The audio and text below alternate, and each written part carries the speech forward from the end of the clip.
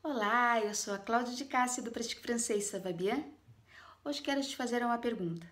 Você faz parte das pessoas fogo de palha?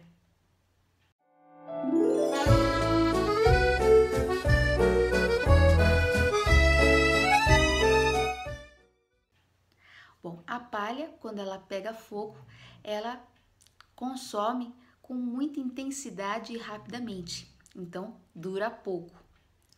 Quando você inicia um novo projeto, você fica realmente muito entusiasmado e logo esse entusiasmo vai se perdendo e ainda mais se o resultado que tanto você espera você não consegue ver.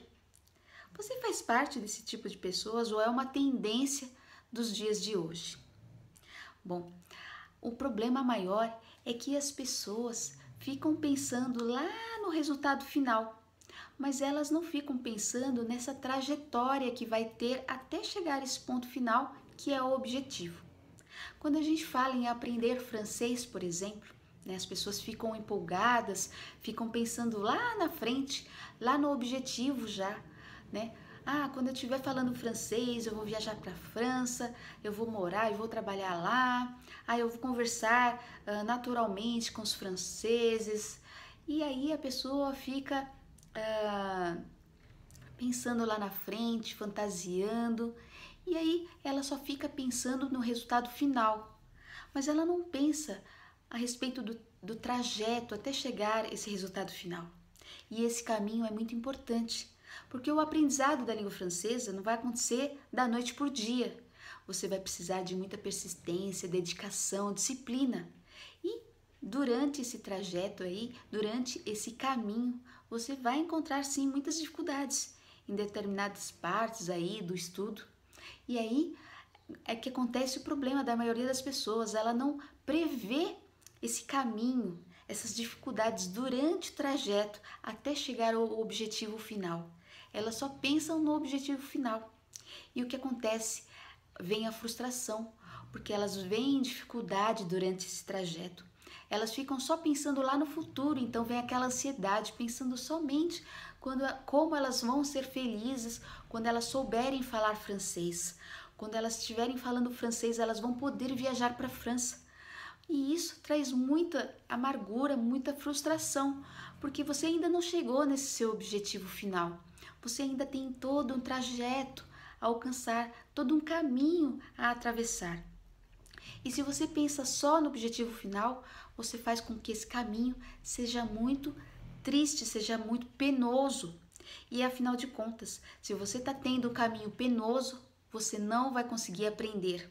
E vai ser pior ainda, né? Você não vai conseguir, você vai ter um caminho penoso e você não vai conseguir chegar ao resultado que tanto você almeja lá na frente, aquele resultado final, que é a fluência da língua francesa. Então, volte aí para você, pense bem antes de você ficar pensando no seu objetivo final, você precisa pensar no seu caminhar, né? E você precisa ser muito feliz também nesse seu caminhar, né? O caminhar para o aprendizado de um, no, de um novo idioma, né? Seja francês ou qualquer outro idioma, esse caminhar é extenso. Você precisa ser persistente, você precisa ter disciplina, dedicação, você precisa ter contato com o idioma. Então você precisa é, saber como conduzir esse caminho aí, né? Essa trajetória aí. E tem que ser gostoso, prazeroso. E quando você sente prazer nesse caminho, você tem um resultado é, de aprendizado. E o seu aprendizado vai chegar e vai fluir com muito mais intensidade. E logo você vai estar tá chegando ao seu objetivo. Então, quando a gente fala né, da pessoa fogo de palha, da pessoa que se empolga muito rapidamente e logo aquele fogo apaga, né?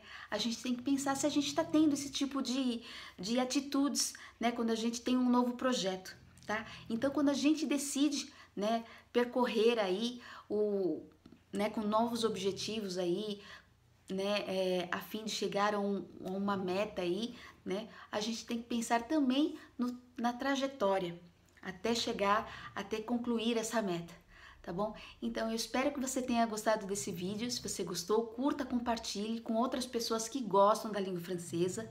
E também te convido a se inscrever no meu canal do YouTube, Cláudia de Cássia. Vai lá, se inscreva aqui todos os dias às 18 horas tem um vídeo novo com dicas e técnicas aí para você implementar nos seus estudos de língua francesa.